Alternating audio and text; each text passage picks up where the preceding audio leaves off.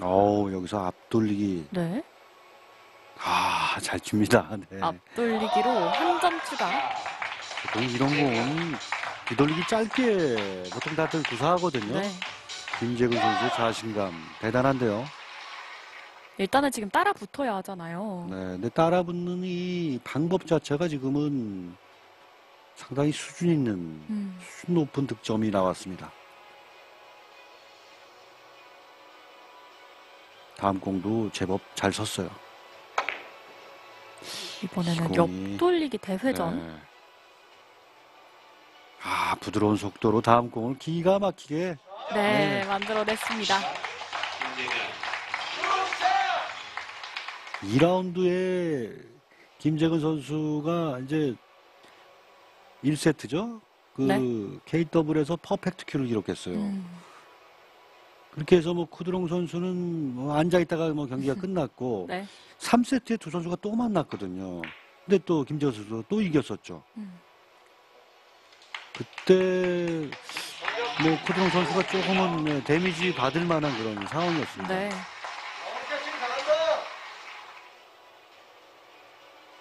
아, 여기서 파란 공이 확실하게 장쿠션에 맞아야 되는데 장단축에 동시에 맞아버리면서 다음 포지션이 그렇게 음. 예, 편안치가 않습니다 지금. 일단은 석점을 올린 김재근이고 점수 차는 다섯 점 차가 나고 있습니다. 또길 만들어내는 데는 김재근 선수 뭐 일가견이 있죠. 와 이거 어 어, 가는데요. 네, 진행이 되고 있는데요. 굿샷입니다. 어, 길이 완벽합니다. 이렇게 또 만들어내는군요. 와. 아, 지금은 정말 훌륭합니다. 저 앞공 얇게 맞은 거 좀 보세요. 거기서 이렇게 가지 않으면 없는데, 네. 어, 김재근 선수의 지금 뭐, 와, 정말 빠질 틈이 없었던 멋진 성공.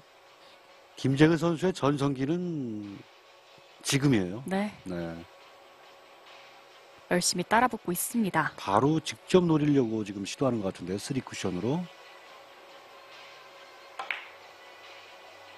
아우, 컨트롤 잘 됐습니다. 뒤돌리기로 네, 이번에도 득점 성공. 아, 역시나 high run을 기록하고 있는 김재근. 큰 점수 차였는데 금세 따라붙고 있습니다. 네, 이래서 1세트 KW 뭐 구드롱 선수가 9점을 치고 들어갔지만 승패는 네. 알 길이 없습니다, 지금. 계속 공을 만들 수 있는 배치예요. 조금 두껍게 맞았는데. 이거 실수입니다. 김재우 선수가 워낙 포지션 플레이에 신경을 많이 썼어요. 네. 아, 너무나 멋진 5점 이후에 약간 허무한 실수가 나왔습니다. 두껍게 맞았어요. 파란 공이 벌써 단에서 단으로 갔단 말이죠. 네. 지금 단에서 장으로 가야지 다시 뒤돌리기가 쓸 수 있는 음, 그런 확률이 높아지는데 아쉬워하는 김재근.